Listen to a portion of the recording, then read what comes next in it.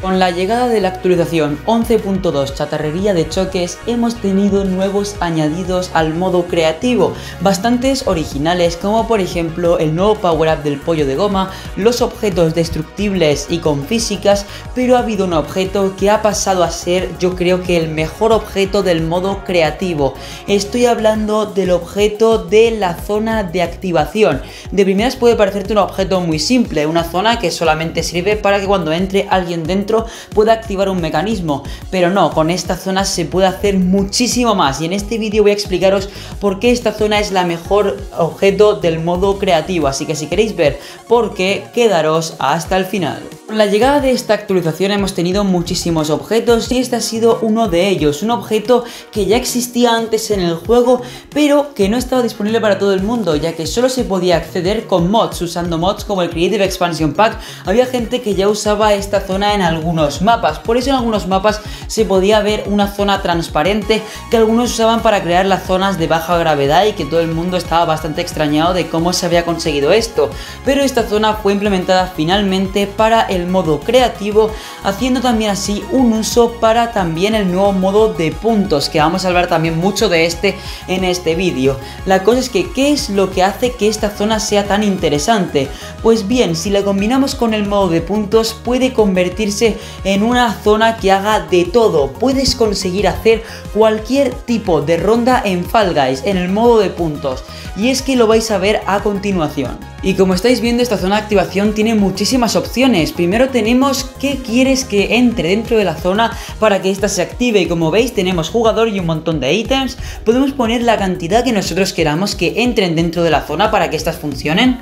También tenemos, podemos poner operador de comparación. Podemos poner que entren menos de 8 cosas, más de 8 cosas, igual o menos de no sé qué. O sea, hay un montón de opciones como estáis viendo. Si ponemos luego más cifras y demás, pues haremos que tengan que entrar un número de determinado, más de un número determinado y muchas cosas más. Además de que luego podemos poner que vea si el objeto se ha quitado de la zona y si ponemos que otorgue puntos en el modo de puntos tenemos más opciones aún. Podemos poner cuántos puntos queremos que otorgue entre menos 5 a 5. También podemos poner el tiempo de puntuación si queremos que sea que mientras que estemos dentro o mientras que entramos una vez nada más. También podemos poner la frecuencia de puntuación, cada cuántos segundos queremos que esto nos dé puntos. Además de que la visibilidad, la respuesta al obtener puntos y demás, que esto básicamente nos avisa si obtenemos puntos o si queremos ocultarlo.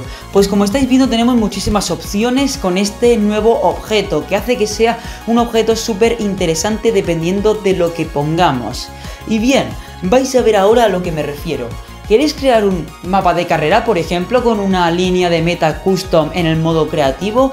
Pues muy bien, la podéis crear en este modo, porque aunque en el modo normal sin mods no podamos crear líneas de meta para las carreras custom porque tenemos que usar la que nos da Fall Guys, aquí simplemente pon una zona que cuando entres dentro de esta directamente ya te clasifique, pero la zona la pones invisible para que obviamente no se vea y así contará como que has llegado a la meta. Podemos hacer un montón de cosas de este estilo para distintos tipos de rondas dentro del juego. Quiero que veáis por ejemplo este mapa creado por Daptosi, un usuario de Fall Guys de Twitter, buen creador de mapas por cierto, crea muy buenos mapas y como estáis viendo es un mapa de caza, pero es una carrera. Empieza a avanzar por el circuito, tiene que esquivar estos obstáculos móviles, por cierto me gusta muchísimo la mecánica esta de que salgan de ahí de un hueco y encima son los nuevos objetos, me encanta la decoración también alrededor y demás y bueno que en general el mapa está chulísimo, seguramente salga el miércoles de construcción creativa muy muy pronto, pero eso no es todo lo que quería decir, porque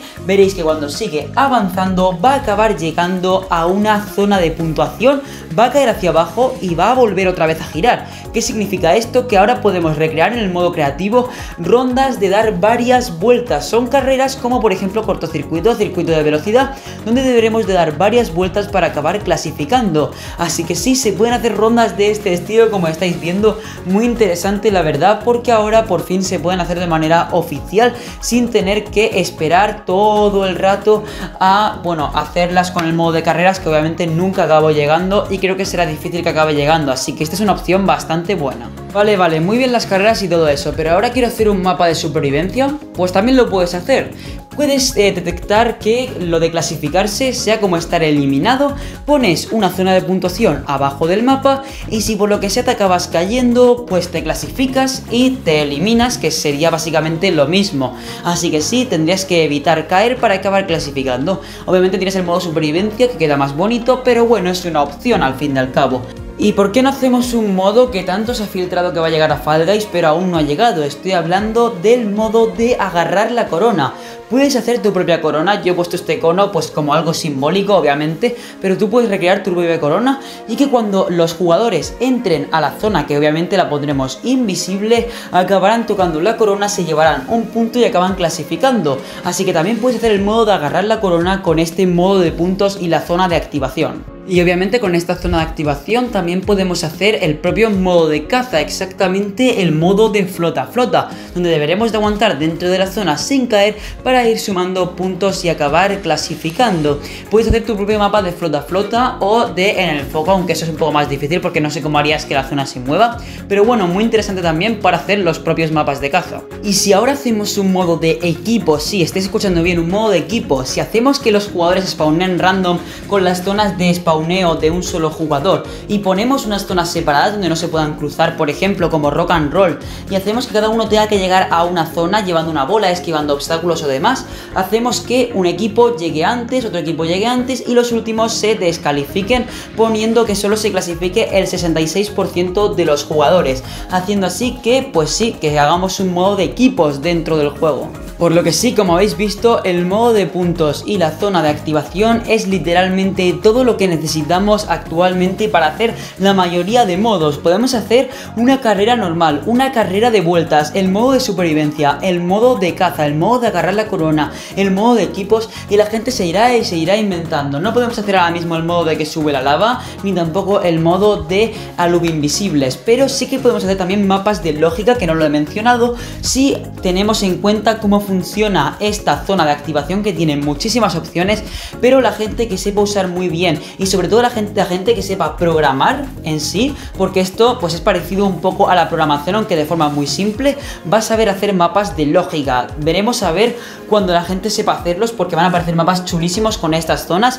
y sí, le tengo muchísima fe a esta zona porque creo que es el objeto más grande que ha recibido Fall del modo creativo. Así que eso sería todo por el vídeo de hoy, espero que os haya gustado, ponedme en los comentarios qué os parece esta zona de activación, si la habéis encontrado algún uso interesante, si a partir de ahora viendo este vídeo vais a construir algún mapa que esté también muy chulo de este estilo. Si os ha gustado el vídeo podéis dejar vuestro like y suscribiros al canal si aún no lo estáis y nos vemos en un próximo vídeo.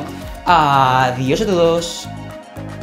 Pero antes de irnos tenemos que dar las gracias a los miembros del canal, así que muchísimas gracias a todos los que se han vuelto miembros este mes. Así que recordad que podéis volveros miembros por solo 0,99 pulsando el botón de unirse que está al lado del botón de suscribirse y obtendréis algunas ventajas en el canal. Así que ahora sí que sí, nos vemos en un próximo vídeo.